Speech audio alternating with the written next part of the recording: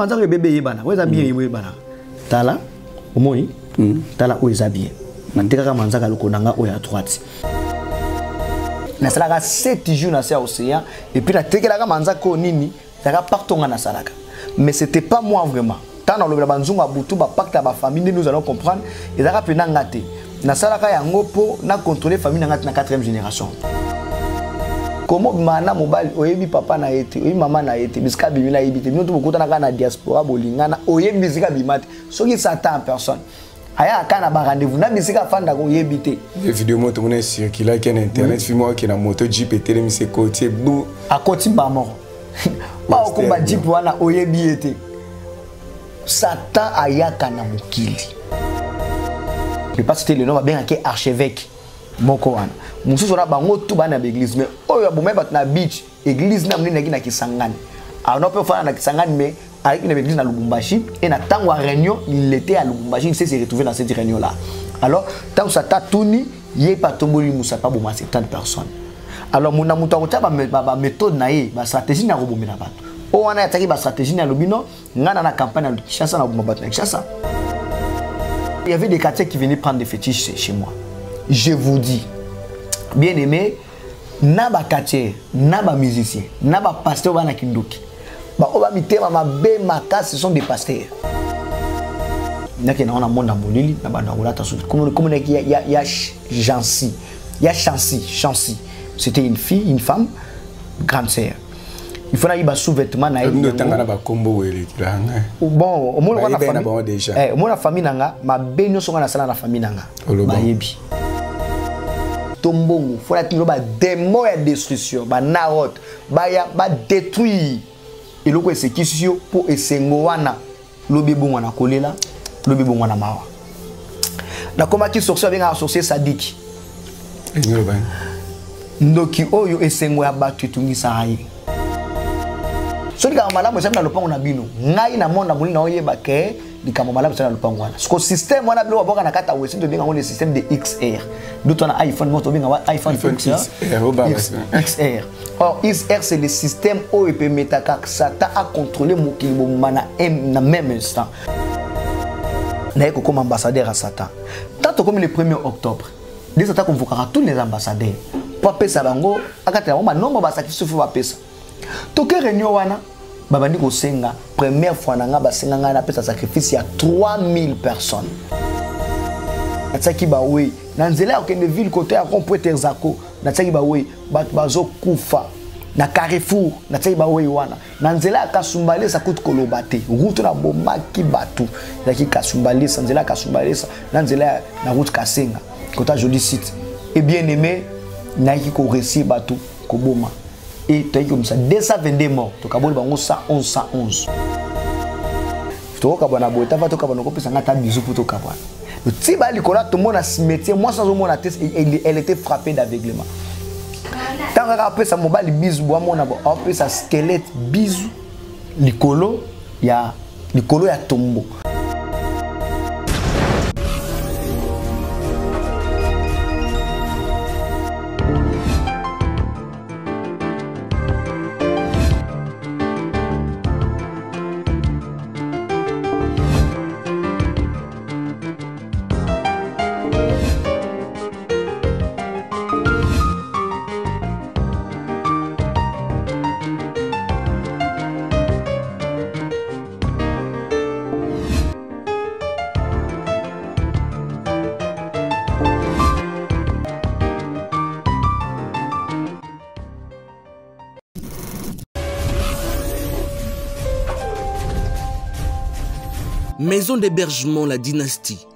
situé sur l'avenue Boyala, dans la commune de Massina,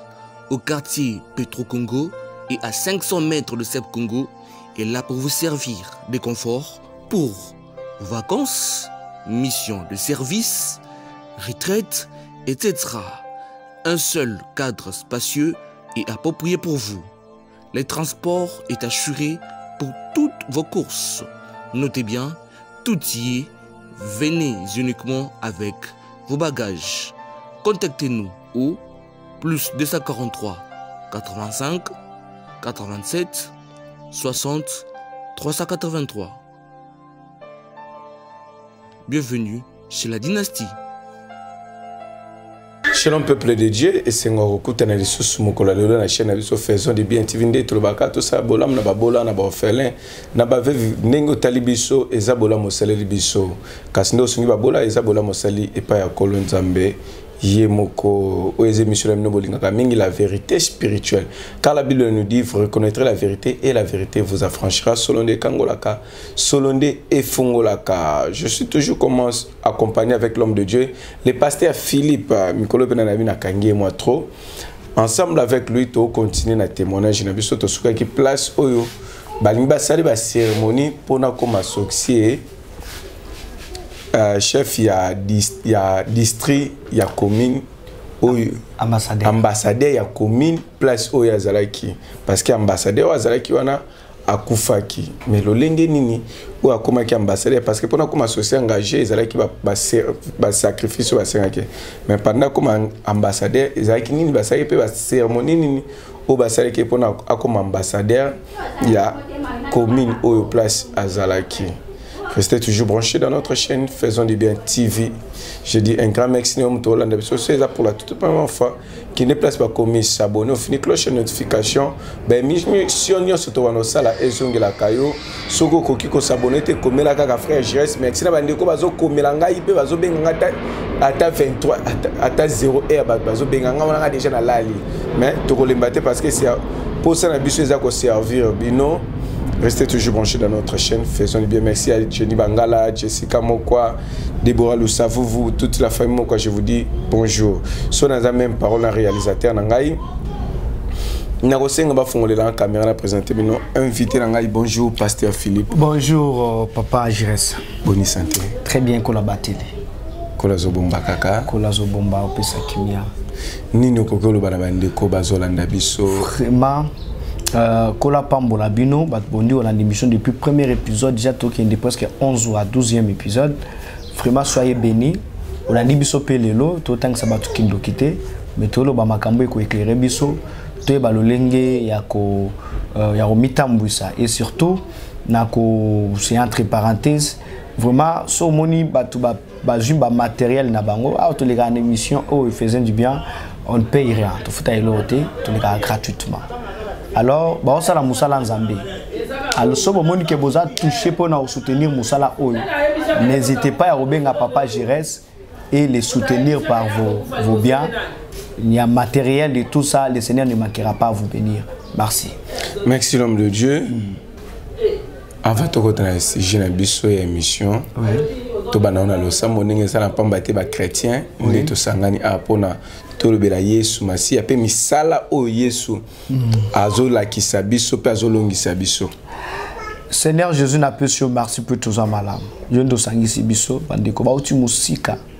baye juste parce qu'ils ont besoin ke libota na yo bapambwama pambola motu nyonso olanda biso makanisi ya mabe ya molili ezala nul et sans effet dans le nom puissant de jésus makambo oyo ebangisa bato te mipesa bango kondima kotelema mpe ya kobebisa misala ya molili dans le nom de jésus christ amen amen ouais. l'homme de dieu oui papa jesus moto moko abina tuno mm -hmm. na vie na yo parce que ayokaki kuna oui. okenda okutana esu na diable oui. malgré lobongo déjà na émission ya liboso soki oloyoka l'homme de diable akutana na apesa déjà nombre de fois bakutana okutana na combien de fois mpo na ndeko azo nakutana na satan 7 fois boyi boyi en face de vie soko baoyo balandaka batémoignage na ngai parce que ntango bomondi ya na kati ya témoignage ya la contradiction c'est que c'est, c'est, ça, ça montre que c'est un témoignage qui n'est pas vrai mais cela dit témoignage nanga depuis banda opesa yango depuis 2013 ti lelo vous allez suivre et na kutana na satan cette fois de vie sans compter bambalo na kutana na ye par représentativité eh, parce que satan naza na sani moko ya mbele natiaka mabela cimetière na sani wana na maki na sani deux fois je l'évoqué okomona maki ezoloba maki wana selesiape nde toyoka miso ekeko ezoloba eh, nakoinvoke satan na kati ekeko osolola nakoki koinvoke na mira ye osolola me komona ne na misu boye nakutana na ye eh, nakutana na ye sept fois trois fois nakutani na bacirconstance na nga privé quatre fois nakutani na baréunion ya pandemonium oyo na participa ça fait sept fois de vie comme ça première fois ntango nakoma soci engagé deuxième fois ntango nakoma eh, ambassadeur ya satan troisième fois tongai toboma paster moko tokutanaka na moto ya nzambe etumbaka babiloko bamateriele na biso batina ngai na kindoki nake kokutana na sata mpo nasengi intervention yaka troisième raconte na ngai de manière privée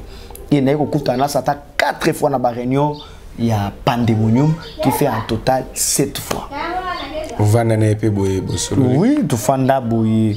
euh, tosololi na diable et tout ça d'ailleurs naki adopté na satan naki adopté nakoma oui nakomaka mwana ya diable yango nakomaki kobenga ye naki na na code postal na ye oyo elekaka directement soki nabengi il faut arépondre parmi bacode ezali prioritaire o soki obengisa to ozwi ye directement alors nakomaki kosolola na ye partout nakofanda boye na na besoin solola na satan nakomi na kati ya chambre na invoke omona répondre ngai na, na maki arépondre ngai na mire voilà mais oyo cette fois naokonte ezali oyo tokutana na ye misu na misu bon. okutani mpe lokola ngai no tofandi boye oui tokutani na ye mpenza boye ndenge nao tofandi mais satan azalaka na forme moko te cette fois wana je crois bao balandanga déjà nakutana na ye na façon moko te cette fois wana aya na cette façon différent cette façon différent on afana na diable boye na terrasse omela champagne tofani na ye na hôtel caravia bao bayebi lubumbashi bayebi hôtel caravia hôtel caravia y avait une réunion là-bas balobi oyo eza motu mwa auti nigeria opesa formation moko osila entreprenariat mais kokota ezali kaka kokota par invitation nde oteki réunion basataniste bainvitation bakabola eka ya basataniste e moto apreside réunion na se satan en personne aye na terrasse afandi aomela champagne bato na terrasse notel bayebi ke c'est lui le nigérien oyo awuti akopesa formation sur l'entrepreneuriat nzoka te eza satan alors ngai abengi nga na telefone ya butu fo ya tokutana nakei bato kutu baobengana ah, wana mwana moke oka mwa fazer moko boye naki fazer na ndosola bamituka bamisala na ndosa wana nomina bato bakilo bato bayebi misala ngai na ndosa na balabala yango wana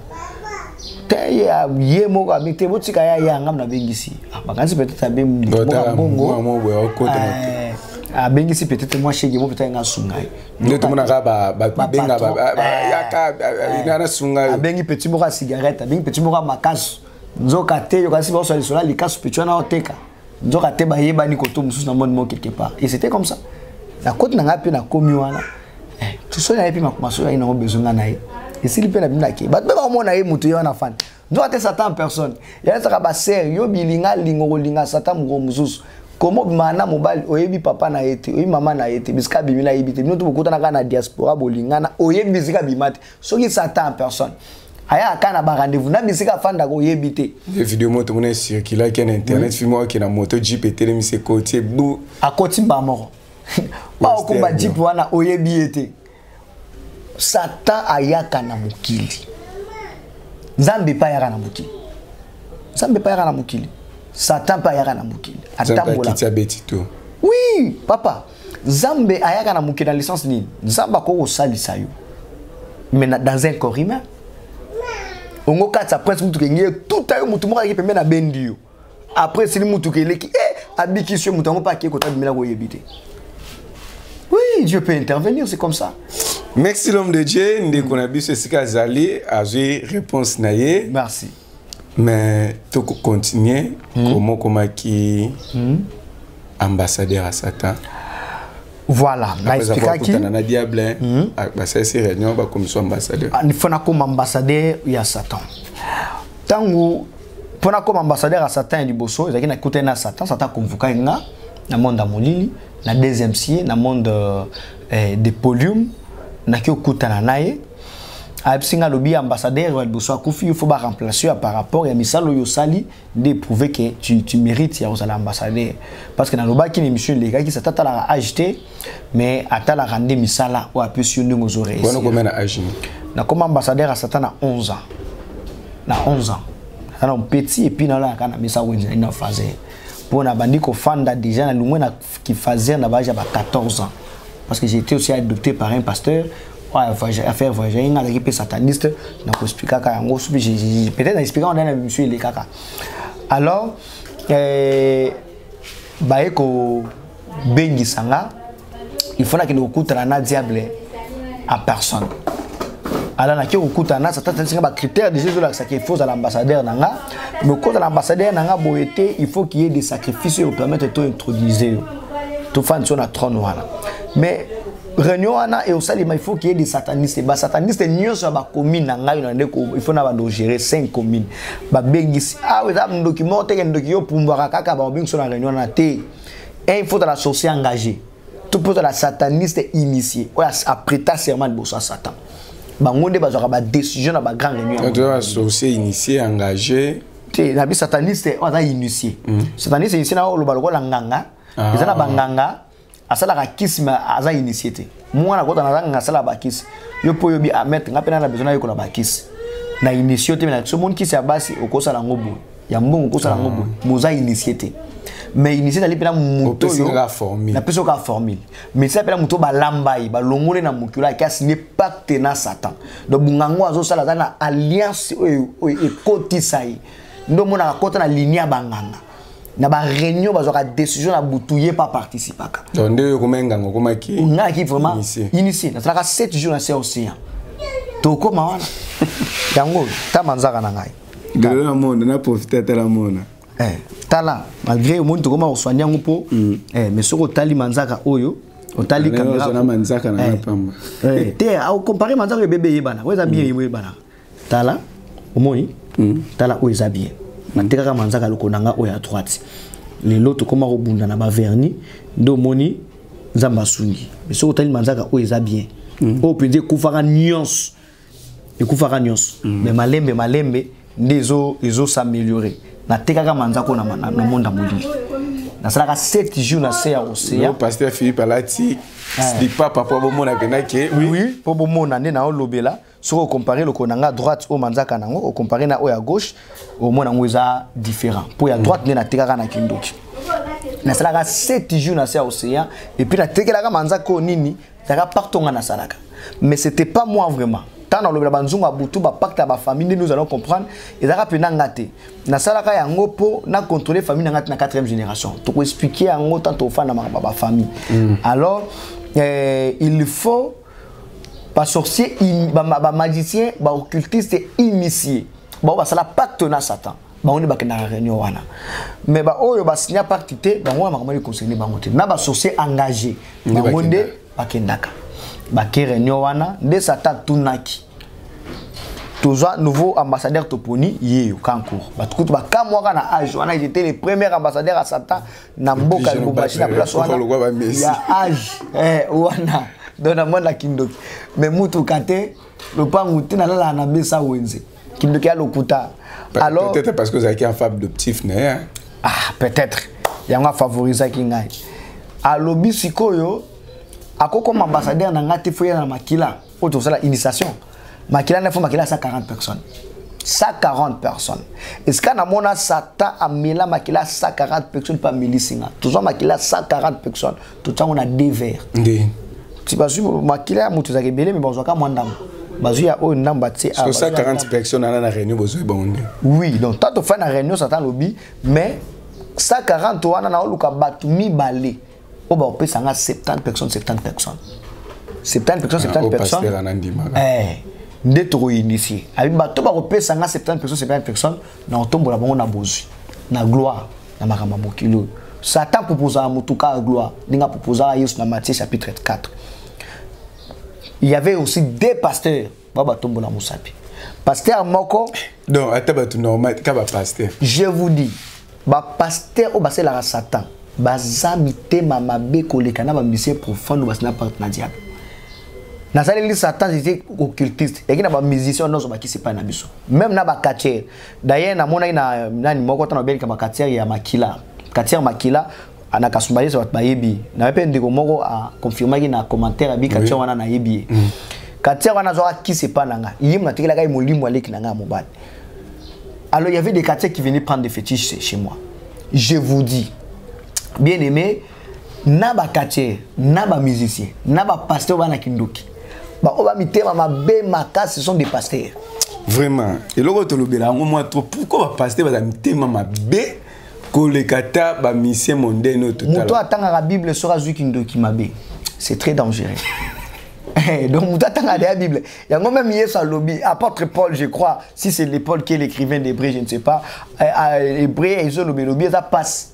soki moto ayoki esengo ya ekulusu azongi na mokili donc eza mpasi mpo abika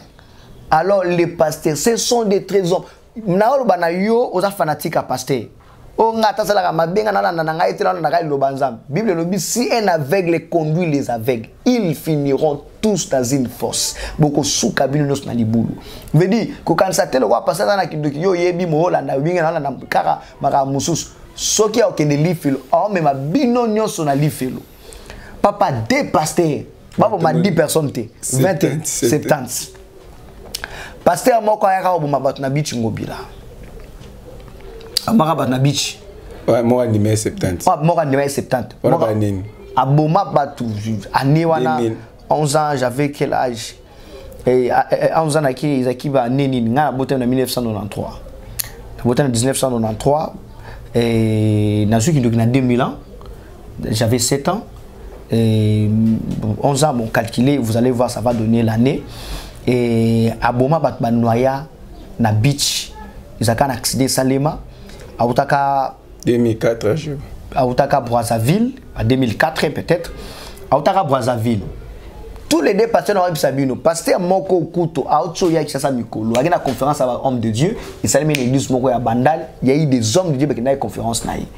mais je peux pas citer le nom babengaki archevêque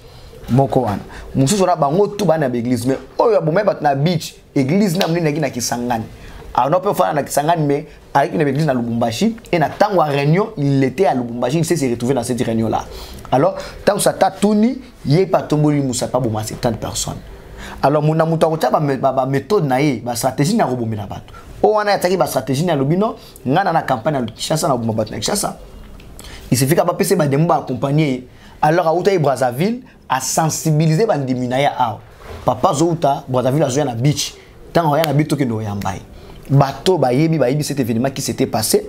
ntango aya na beach ya ve événement moko esalemaka bato bakufaka noye na mai e bato bakufaka ebele abomaka plus de 70 personnes satanwakomisaka ambassadeur ya satan voilà satan et le pasteur wana oloba ya lubumbashi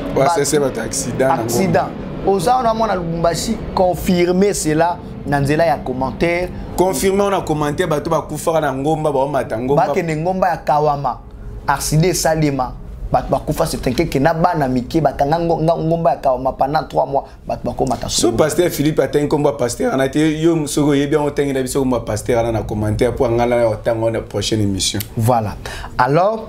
euh, ye mpe aza archevêque papa wana ntango andimi satan ayebisi bango botya bastratégie na bino en place ya koboma bato batie bastratégie satan eh, baaccident ba wana il faut esalema nanu après nde on aura comment tokoki ko ko, ko cérémonie intronisation eosalema ntango accident nde esalemi bazwa makila bakabola na deux verres ya 140 personnes ngai nameli makila ya 140 personnes diable ameli makila mosusu milongo satan oya ombela basali ngai bacérémonie bayebisi ngai nakende koyiba sous-vêtement ya mutu moko batanga na kati ya famille na biso azalaki cousine na nga grande sœur mais ya bafamille kota mama na biso nayiba sous vêtement na ye nake na wana monda molili na banda kolata sous komonaki ya, ya jansi ya chansi chansi c'était une fille une femme grande sœur il faut nayiba sous vêtement na ye otanga na bakombo oyo elekela nga bon omona famille na nga mabe nyonso nga nasala na famille na nga bayebi Eh, tant que ya samedi prochain parce que j'ai une grande soeur qui est déjà ici il y a sa fille natanga et comme on est souvent aza on a prochaine émission on sala tout tous en aïe mhm. vous allez le voir et puis à témoigner à témoigner et puis na lobaki déjà ba ba sala ba Facebook so luki ka koma mon pari au na famille mon pari ba ndi na ngai fele ba sali ba yebi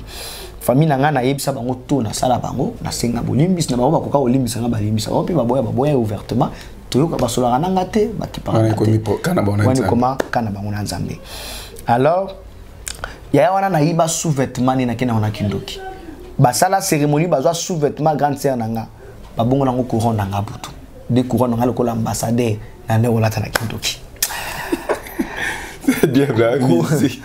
couronne yo ozokanisa couronne mpende ya couronne babongo nango couronne na or nzoki eza sous vêtement na moi boser na ngai na mpe akomi kokoya maladi ya ndeke na famille na nga nakomela na bato mibale napesa ye malade ya ndeke moko yaki petite sœur na nga donc conséquence ya couronne no eh. ya okuya malade ne mpo agumbamela yango eh, ndenge nalataka sous-vêtement ne na butu oka couronne na nga butu na moi boye epemeli handicap mental akoma koyaka malade ya ndeke akoyaka malade ya ndeke ayebaka te nzoka te elamba na ye na butu balata yango lokola couronne na bango ya butu mais abika na ye abika après délivrance na nga mais ye mpe aluka badelivrance nzambe asunga ya bika mais déjà atanga te mpo abandaki kokwea na classe abandaki kokwea aza c'est une grande maman déjà oyo lelo mais etika na baconséquence ya mabe na eh, te abala te basentaka ye aza na mwana na maboko abala te il vit aussi une vie là difficile mais nzambe akosala ye grâce parce que ya motoya ayebi yesu sikoyo voilà alors ntango basali balatisi nga couronne wana esili baconfirme nga ambassadeur ya satan bapesi nga baprincipe lokola ambassadeur ya satan ya liboso satan ayebisi nga bino alingaka libala te abina milio nga na tie yo ya liboso tu dois combattre le mariage eza mission oh, facile parce que les jeux salaka dans la salaka yango pona panza mabala 69 mm. afika lobi tu dois combattre le mariage esika bi libala ya bato ya bala na yaka to fanda bato wana baza considéré kwa baninga na ngai envoutaka bango so bangi bahonore mariage na bango bundisa finance na bango bakufa na eta wana me baoyo babalana officiellement luka okabola bango so okoki kokabola bango te luka oenvoute moko ayiba libanda so moko ayibi libanda wana libala na ekomi na contrôle na biso ya mibale bato ya mbongo sata alobi nalingaka bato ya mbongo te loba mbongo wana euta epai na ngai me soki mbongo wana euta epai na ngai te nalingaka bango te alors sala le tout soki moto ana mbongo mpo biso tokomisa bango esclave na biso envoute mbongo na ye ekomisaka ngai sela okozala na mbongo nde ekomisaka satan seke ame na ye ekomi na bénéfice na ye ekomisi nde c'est ça natunaki ekokumisa yo ndenge na bi envoute mbongo wana apesa yango na église te asoutenaka mosala nzambe te asungaka ata nazoba mosala ya nzambe ata ndenge bandeko basali émission faisant du bien eza mosala ya nzambe quand tu le fais tu soutiens l'œuvre du seigneur l'église eza ya construction tu soutiens l'œuvre du seigneur kopermettre ministère na biso oyo oh, ekende mosika tu soutiens l'œuvre du seigneur ozosunga baorphelin kola alobi je suis le père des orphelins veut dire oh, tu soutiens le seigneur ozosunga baveuve il est le défendeur de veuve tu soutiens le seigneur nayesaka bato soki bateya yo ke okaboli mwana oya na kindoki na balabala asengi mbongo na nzela okabeli ye mbongo azwi mbongo anaki koloka yo bakosa yo mutu mutu atala na kindoki soki okabeli ye mbongo na yo ake kosala yo mabe mbongo wana ekopesa ye makambo wana ekozongela ye retour ekofrape ye isifi nde yo ozala na yesu alors satan ayebisi nga alobi motu so aza na mbongo loka ye mbongo nde akendaka nango ba boite ambiance et tout ça sata alobi soki abandi kosala baambiance na mbongo na ye wana mbongo wana ebandi kopesa ngai lokumu ama motu wana mpe toganie yango wana toyokani nde mosala na nde kosala wana mbongo na entité na ngai oyeba te omona lokwa mbongo l'argent ezomema yo na makambo ya mabe parquoi ezalaki moko ya puissance na nde kotambola na yango et le diable m'a dit ayebisi nga alobi euh, au-delà de cela il faut na contrôlaka tous les secteurs oyo ngai nazalaki lokola ambassadeur ya satan soki moto aseki il faut naluka nayeba moto wana aseki nini nde yoseka wana bayebaki tosi émission todenonse bango na eh, paster philipe oui il faut naluka nayeba oseki nini so namoni oseki eloko esekisi yo ezali mbongo oyo bakabeli yo to libala to eloko moko ya malamu nakokende na monde ya molili nake koluka nayeba lokola ye abali to mbongo fo natino bademo ya destruction banarote baya badetruire eloko esekisi yo mpo esengo wana lobi ebongwa na kolela lobi ebongwa na mawa nakomaki sorcier abengaka sorcier sadiki ndoki oyo esengo ya bato etungisaka ye ndenge oseki nga na kati ya motema foloka pasi apwani ya seki ya des gens comme ça donc esengo bato mosusu ya sepela ya sepela nango te so bato basepeli eh, ye bato baseki basepeli ye fo kakanda sur ce sadiki nakei na trone na satan eza na piscine moko ya makili ya na trone na satan piscine na makili ya satan abomaka bato aliaka bato 1400 personnes par jour bamemi ngai na pisuna na makila babatize ngai au deuxième baptême nazwi na kindoki lokola ambassadeur ya satan première baptême bafandisa ngai na moto nalobaki yango na introduction ya message mm. au deuxième baptême mpo nakoma sorcier sadike bazindisi ngai nde bazindisaka bato na nkombo na yesu boye na mai ngai so bazindisi ngai na nkombo ya satana na makila ta bazindisi ngai na bimi nde nakomi sorcier sadike babengeli ngai bademo babengaka bademo visiter ana oloba mosala ambassadeur ya satan bademo visiter batambolaka babenga mpe bapuissance de l'air tozwi bazwi mwa babiloko moko bapesi bango mwa babaelema moko bapesi bango bakende na bawese nyonso eza na bakomino ngai na ocontrole lokola ana kisasi na koloba maluku masina kimbanseke njili eh, je ne sais pas et quoi d'autre cinq communes oyo ezali district ya cango batindi bandoki bawese nyonso il y aura combien de wese ba 5 millions de toilettes bademo bakokende bake kotya babiloko wana na kati so batie biloko wana na kati ntango batie yango directement na kati ya ndako na yo il y a un verset que je vais voir là ntango batie yango na kati ya ndako na yo elingi koloba lopango wana ambassadeur asatako mokontrole yango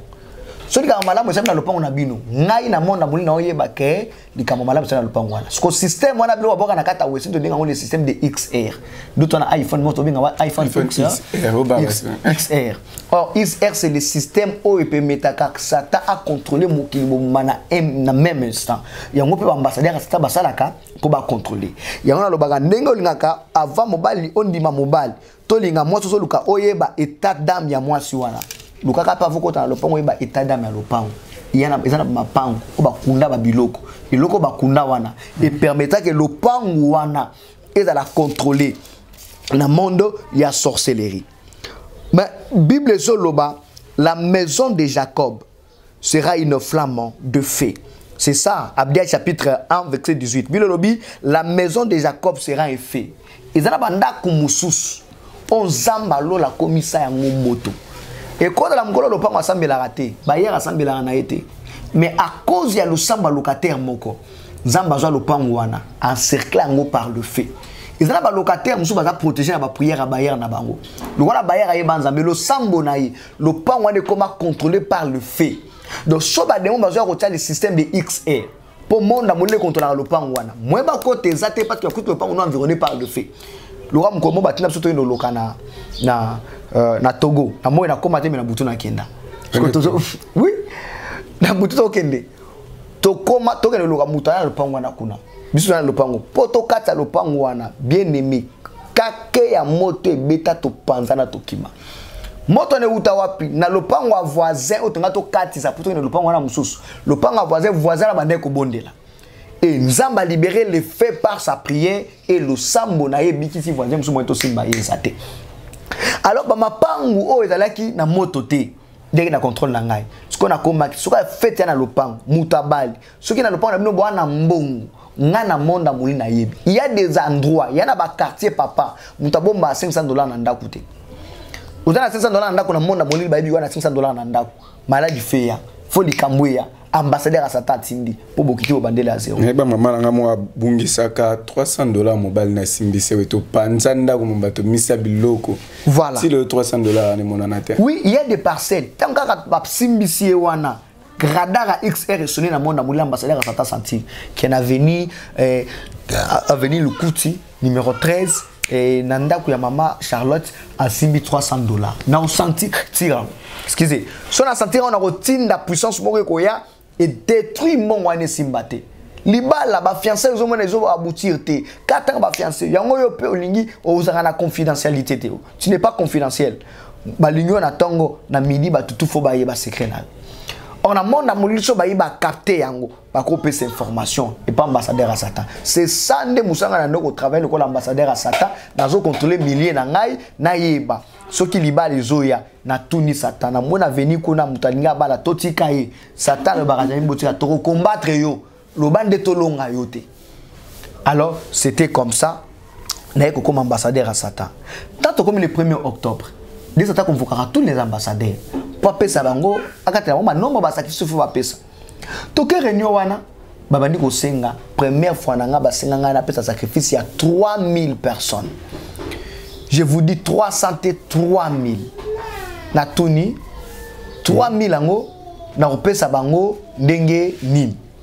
bayebisi ngai il faut okende olala na cimetière ya kimbembe na lamusa 3000 mort tobengaka barevena barevena wana na kokabola bango 1000 bakoboma bana mike bakemema maladi ya, ya rougeole mosusu bakokende komema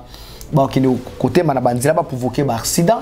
misusu bakoya kobima basi naki kokende na cimetière ya kimbembe Fine dolamusa bawei bato bakufa babengaka barevena baya mpo basunga ngai naboma 3000 personnes 3000 personnes wana fo naboma 1000 na accident ya mituka 1000 personnes na nzela ya sexualité e 1000 bazala bana mike na nzela ya maladi ya rougeole alors nasala ndenge nini nakenda kolala na cimetière nalamusi 666 revenant nde nakaboli bango na groupe de 3 222 222 222 revenant et maintenant mpo nakabola bango na basystème esengeli tosala mpo na koboma 3000 personnes 222 wana fo abomela nga bana mike 1000 na manzela maladi ya rougeole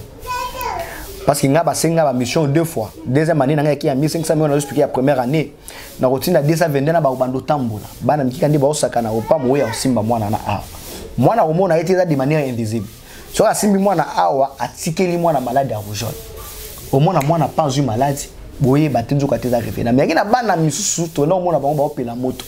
revena ya kokutana na mwana me mwasimba ye eza te bana nini baboko eh, banopela moto ezalaki bana oyo babota bango bayebi nzambe bana bapara basambelaka mpo na bango bapeselaka bango offrande balobaka malamu baloba malamu likolo na bango bana na bazalaka une flamme de feu bademo boye basimbaka bango te yango komona epidemie ekoti na suka ya mbula na bandako mosusu ekokota mosusu ekokota te mpo na baparent bayebi koprotege bana na bango na nzela ya bapriere na baofane na bango alors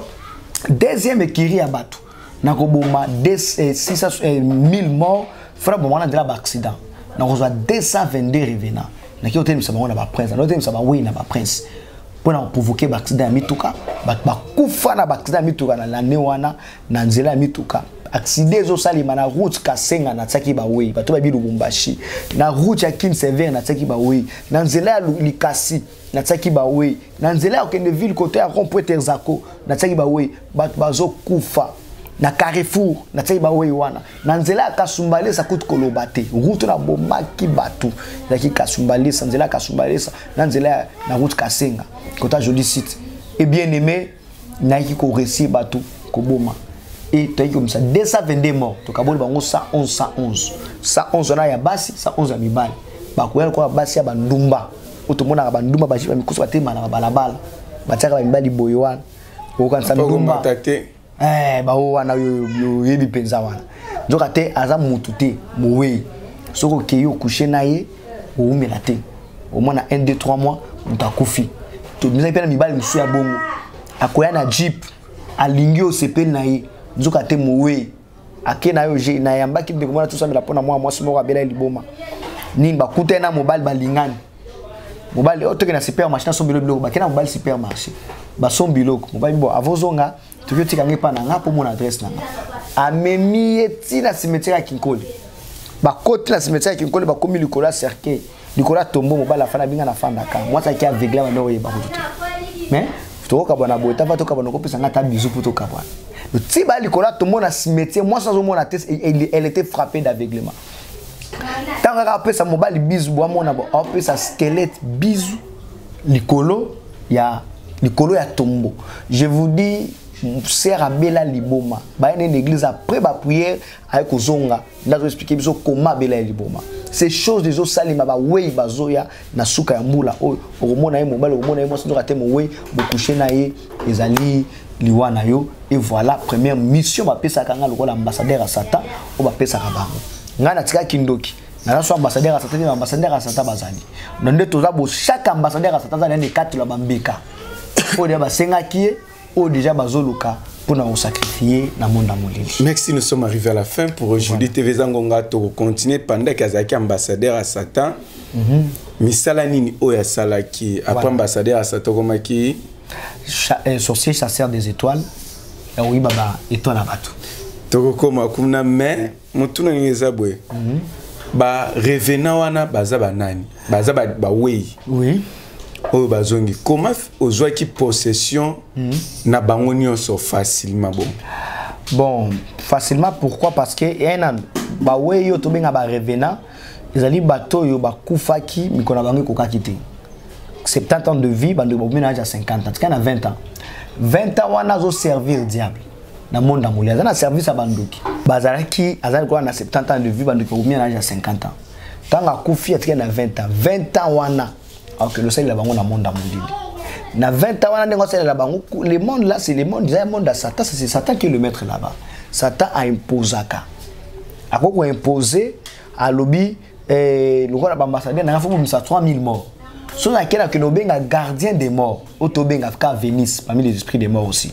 soki nabengi gardien des morts na otravaille naye nayebisi na bino ana besoin ya 3000 morts mpo na service oyo monangi nasala akoboya te eza meme na droit na kopesa te parce que mosala na oso eza ya royaume na bango eza mpo na satan directement il va autoriser aomisela nga 3000 morts oyo baa na service na bango kuna apesi nga mpo bakoya kosalela ngai nga mpe bakosalela nga pendant longtemps te peut-être pendant deux mois après esili so 3000 morts bakoki so bakosala na un mois bazongi bazongi kuna na na mosala na bango basalaka na monde euh, Armstrong. Donc voilà, c'est ça les, les revenants. C'est là dans le bara. Kokufa liwa maboka batu te parce que batu banduki baliaka tala makambo bakendaka kosala yango wana merci l'homme de dieu dernier mot na yo mpo na parti oyo tosali na numéro ya telefone mpona bato baza na mposa babengo mpona badetail mosusu mai bowelisa biso te na témoignage ezelaka témoignage na te vraiment donc eloko esalaka nga mpasi makasi na répété ezali kotambola na mokili oyambi yesu te bien aimé ce monde est tellement dans l'insécurité totale l'insécurité kaka ya bakidnapper te nous avons des hommes qui sont forts et puissants que les kidnappeurs qui sont les sorciers mais nous avons quelqu'un qui est le tout puissant que le kidnappeur et le sorcier c'est Jésus-Christ. Sous la carte à Yesu Massi, nous avons la sécurité totale.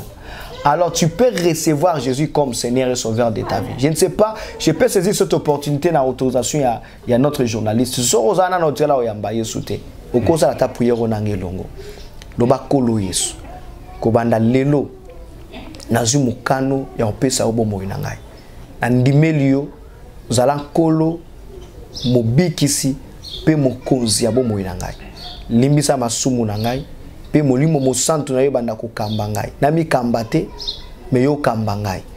kobanda lelo vi na ngai ebanda odependre na yo e soki ozongi mpo na oya ozwa eglize ngai natikala te me nazala compte parmi bato baonetwama na nkombo na yesu masiya merci yo moto osali priere oyo nzambe asunga yo kobanda lelo okomi mwana na nzambe kana mwa priere wana osali luka une église na bisika oyo ozali oyo bayambaka bandimelaka yesu comme seigneur et sauveur afin kozala na sécurité bandoki bazala na autorité likolo na yo te numero na ngai ya telefone wana likambo tosungwa na priere ezali plus 243 81 889 80 07 plus 243 81 889 80 07 Voilà, c'est mon numéro. Merci, nous sommes arrivés à la fin de notre émission. Merci, Pasteur Philippe, Merci. pour un témoignage. Merci beaucoup. Je te dis, kolinga okufa liwa maboka batu te pamba te mikolo etikali na yango oyo nosalela yango na mboka molili kangama na yesu masiya pamba te bandoki baboma yo te pasteur philippe asouliniaki alobaki yango bien soki ndoki alie moto ezala banda osambela ozala ozalaki naye soki kaka ndoki alie yo mpa na ofungola ya lola ekangami parce que mikolo na yo wana nyonso etikali hmm. obanda kosalela yango diable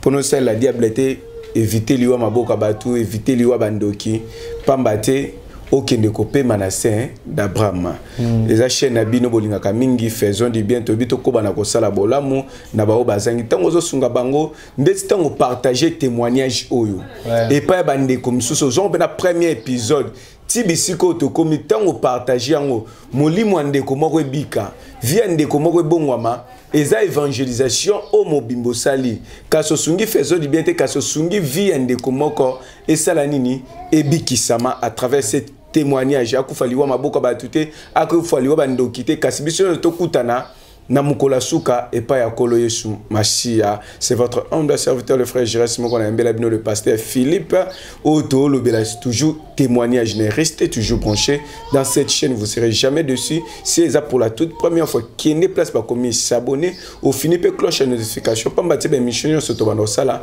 ozwaka yango 5 sur 5 tokutani prochainement merci bye maison d'hébergement La Dynastie, située sur l'avenue Boyala, dans la commune de Massina, au quartier Petro-Congo et à 500 mètres de Seb-Congo, est là pour vous servir de confort pour vacances, missions de service, retraite, etc. Un seul cadre spacieux et approprié pour vous.